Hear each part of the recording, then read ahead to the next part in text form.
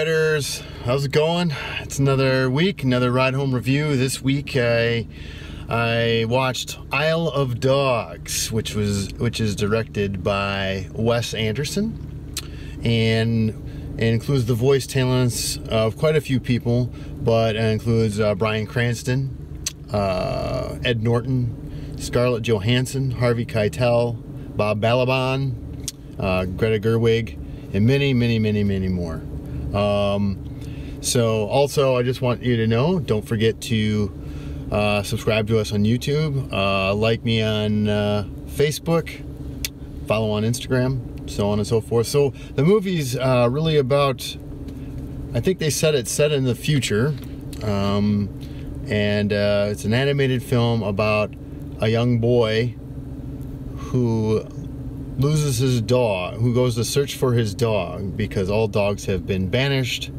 due to a disease. They've been banished from uh, the mainland to a, uh, a place called Trash Island. And this boy goes in search of his dog.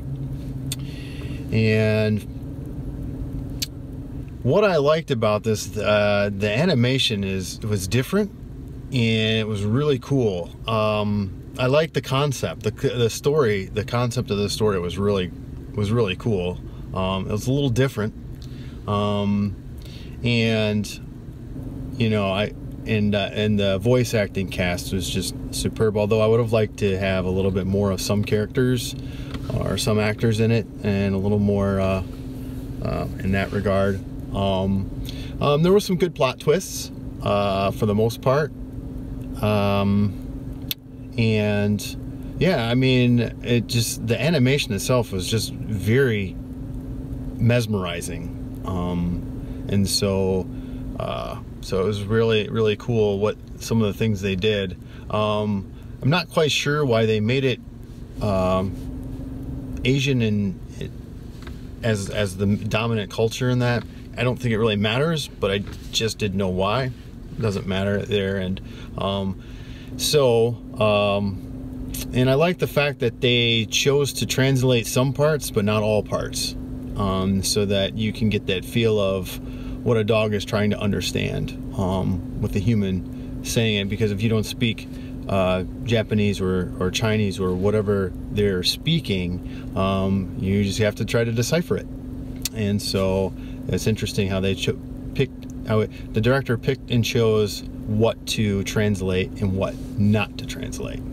Um, and uh, what I didn't like was I thought the pacing was a little slow. I mean, I know with Wes Anderson he's a little more deliberate, but this one uh, um, just uh, it was just one of those things where I just I, it was a little slower than than what he normally does. And and sometimes I'd like I would have liked it to pick up the pace a little bit. Um, character development. I didn't feel like uh, we got enough of some of the dogs. Uh, we got some um, passing by some some you know a little bit of backstory but not enough. I mean especially with the aboriginal dogs um, would have liked a little bit more of that. Uh, it just seemed that um, uh, the focus got put more onto back onto the humans than the dogs, and so. Uh, yeah, it was just one of those things. And what to watch for? Um, the mixture of the animation that the, he, he, the director chose to use. Um, so check that out on how they did did different things here and there. Um, but most most likely you don't have to see this in a theater. Um, it is family friendly. There is no cursing, no uh, overtones of anything in that regard. Um, but yeah, I would give it a so-so. Um, it wasn't great. It wasn't bad. It wasn't Wes Anderson's best. So there you have it. Isle of Dogs. Uh, once again, don't forget that this will also be on Anchor and iTunes, so check it out there. Plus, we're on YouTube, Facebook, and, and Instagram at Ride Home Reviews. So until next week, which will be a recap week of the last couple months, uh, watch something cool. See you next time.